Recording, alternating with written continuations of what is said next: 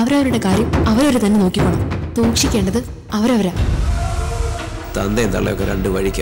ശരിക്കും പറഞ്ഞ ഇപ്പൊ കുടുംബനാഥൻ ഞാനാ. നിന്റെ കാവ്യക്കും നിന്റെ കുടുംബക്കാർക്കും എന്താണ് സംഭവിച്ചെന്ന് അറിയണം.